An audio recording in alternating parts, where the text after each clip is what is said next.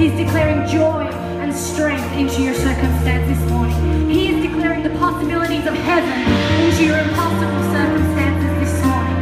So if that's you, I just want to sing this bridge one more time. And if that's you, sing it with the conviction of a thousand hearts. that our